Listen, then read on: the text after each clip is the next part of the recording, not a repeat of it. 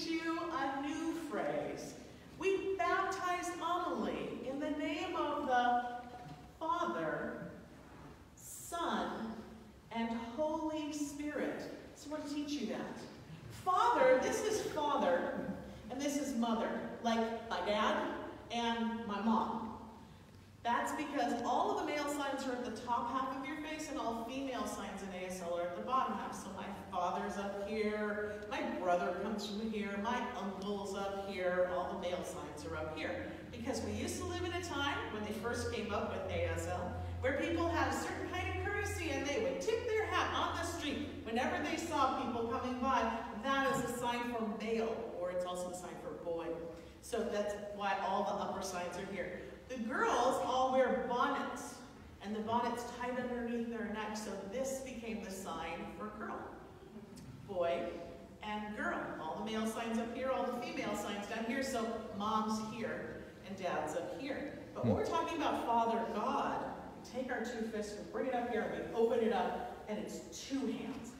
Father, that's giving respect to our Father in heaven. Then we have Son, where you take that boy sign, right? and land it here in our arms like a little baby. And it's Son. Good. So we have Father, we have Son, and next we have Holy Spirit. To start with an H hand shape. It's just two fingers across your body, right? H.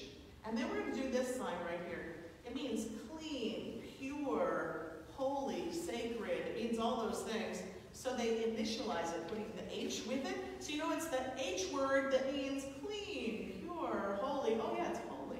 Good. Holy. And then spirit, make this the body. And then your dominant hand, whichever hand you, you move with, right? Your mm-hmm. dominant hand is going to come out of there in a little wispy kind of spirit way. Can you see it? Excellent, excellent spirit.